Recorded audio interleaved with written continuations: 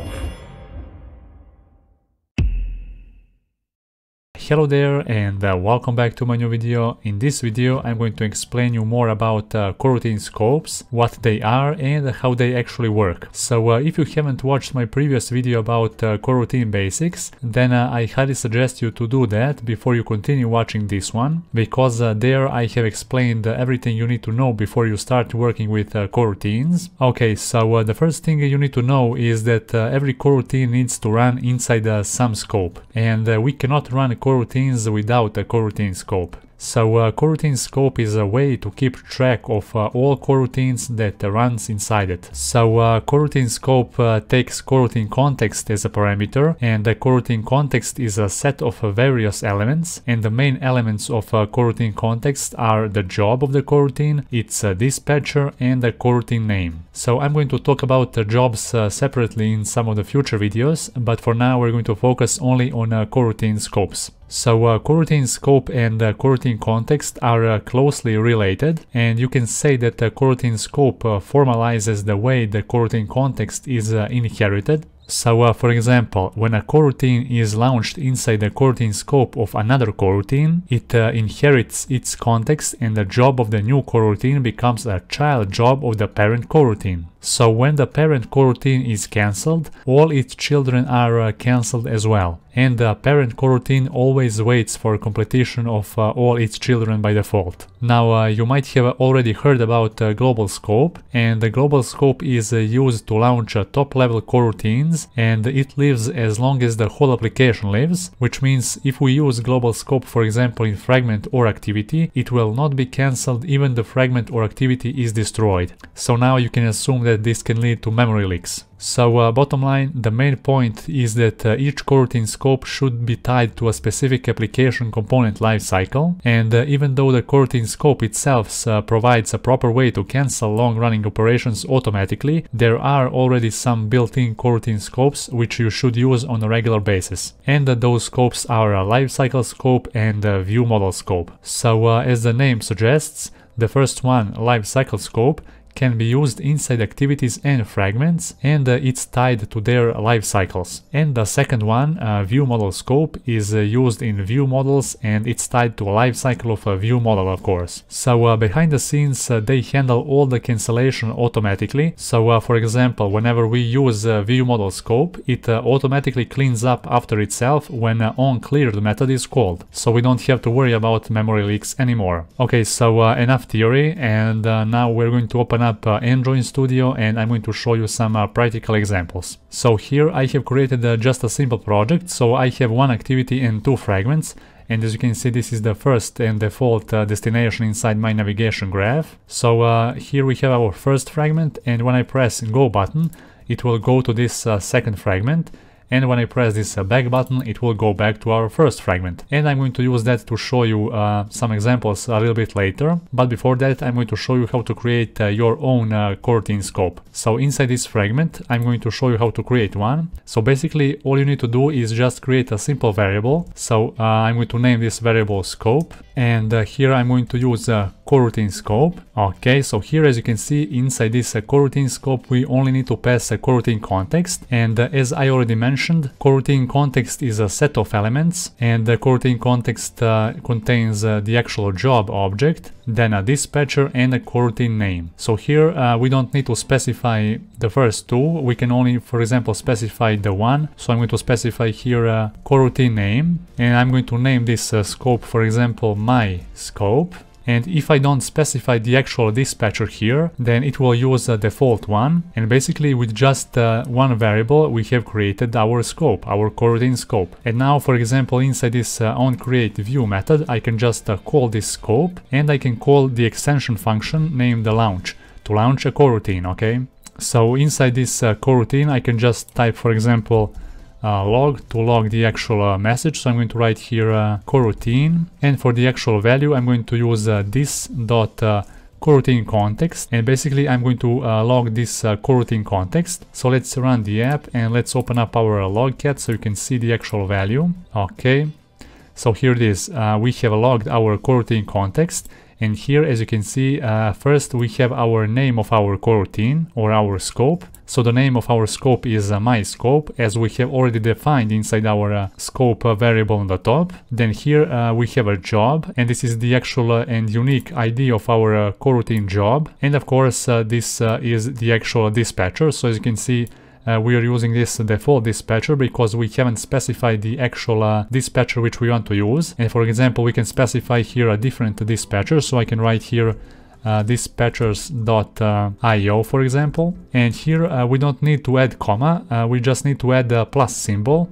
so like that and that's how we are specifying the actual coroutine uh, context. So basically we can specify this dispatcher then plus and the coroutine name. Okay so I can set here this variable to private. Okay so now let's run the app again and you will see that now this uh, dispatcher will change because we have changed this uh, dispatcher inside our uh, coroutine scope on the top and now as you can see this dispatcher is using uh, this uh, dispatcher IO and uh, now you see how easy it is to actually create uh, your own coroutine scope. But of course uh, you would need to cancel this uh, coroutine scope by yourself. And I'm going to talk about coroutine cancellations and coroutine jobs in some of the next videos. But for now we're going to only focus on scopes. So for example inside this coroutine builder launch I'm going to add one more coroutine so let's use this launch builder and here I'm going to log uh, basically the same thing. So here I'm going to write uh, coroutine and here I'm going to write uh, this dot uh, coroutine context. Okay, so let's uh, run the app now and let's open up the logcat.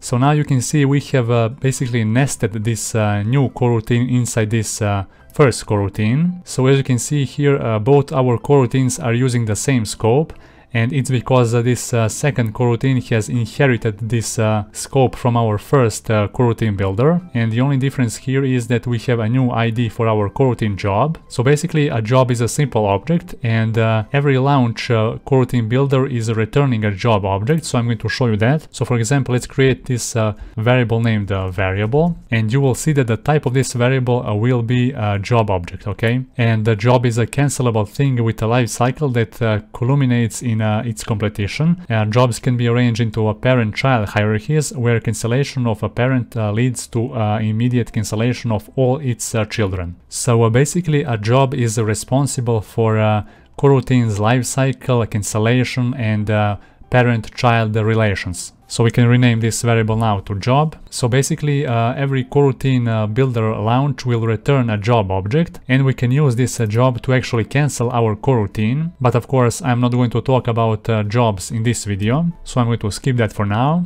Okay, so now you saw how to create your own uh, coroutine scope and now I'm going to show you how to use a global scope. So uh, for example, we're going to delete this scope here and I'm going to call global scope.launch so as I already mentioned, this uh, global scope uh, will live as long as our application lives. So I'm going to prove you that. And uh, here inside our global scope, I'm going to write uh, something different. So I'm going to write here uh, while is true.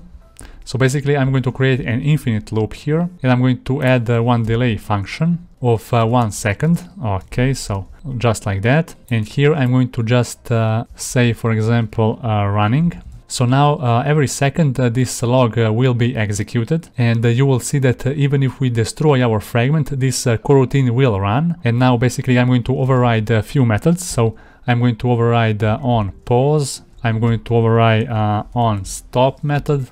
Then I'm going to override on resume. And of course at the end on destroy. Okay, so now inside each and every function here, I'm going to add one log statement. So here I'm going to basically uh, type here uh, on pause. And I'm going to copy that right here and change uh, to on stop.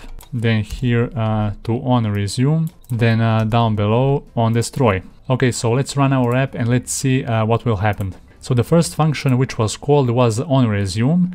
Then uh, we have this uh, running log running each and every second. And even if we navigate to our second fragment as you can see on pause and on stop were called and even then uh, this uh, coroutine continues to run. So as you can see running a log uh, each and every second. So uh, on destroy method was not called because our first fragment was not destroyed. And now let's try and destroy it so we can see if uh, our global scope will still run in the background. So I'm going to go to this uh, navigation graph. And now I'm going to select this arrow which is pointing from the first fragment to the second fragment. And here where it says a pop behavior I'm going to select first fragment and here I'm going to check this option to true. Okay. And now basically when we run our application and when we navigate to this uh, second fragment, then this first fragment will be destroyed. So now let's check that out and let's run our app again. Okay, so as you can see the first method was called on resume. Then we have this uh, running, then running every second. So now let's go to our second fragment and let's see what will happen. Okay, so on pause, on stop and on destroy. So now basically our first fragment was actually destroyed, but still our coroutine is running in the background. So as you can see this uh, global scope coroutine actually lives as long as our application lives. And now when we get back to our uh, first fragment, as you can see the first fragment will be recreated once again. So now you saw in this uh, practical example that uh, global scope actually lives as long as our application lives. Okay, so now uh, I'm going to show you how to use the lifecycle scope. And for lifecycle scope you need to have uh, one specific dependency. So as you can see uh, you need to have those two dependencies for coroutines and if you want to use a lifecycle scope, then you should have this uh, implementation or this dependency. And for a view model scope, uh, you should have uh, this one, okay? So I'm going to put this source code uh, on my GitHub profile so you can download or copy those uh, dependencies. And now uh, we're going to use a lifecycle scope and you will see that that our coroutine will actually cancel when we actually destroy our first fragment. So now instead of this global scope, I'm going to use a life cycle scope, okay, so this one. And now let's run our application again, we're not going to change anything. And now let's see uh, what will happen if we navigate from our first fragment to the second fragment. So let's run the app, let's open up this logcat. Okay, so uh, as before we have received this uh, on resume first, then our coroutine is uh, running freely. And now let's try navigating to our second fragment and let's see if this coroutine will still be running. So as you can see on pause, on stop and on destroy were called and uh, our coroutine actually stopped. And uh, basically uh, that's the proof that our lifecycle scope is actually cleaning up uh, after itself. So whenever our uh, fragment is destroyed, the coroutines will be cancelled automatically. And this also applies the same to uh, view model scope as well. And view model scope will cancel itself after on cleared method is called. So the best practice is that you should always use a lifecycle scope and a view model scope wherever is possible. And you also saw how you can create your own uh, custom scopes. So basically you just need to use this uh, coroutine scope. And of course inside this uh, constructor you can pass uh, different kind of elements. And we have passed here the actual dispatcher, the coroutine name and we can also pass the actual job. Okay, so uh, that will be all for this video. Write down in the comments if you want to see more videos about uh, Kotlin coroutines. Please like this video if you find it helpful of course and uh, see you in the next one.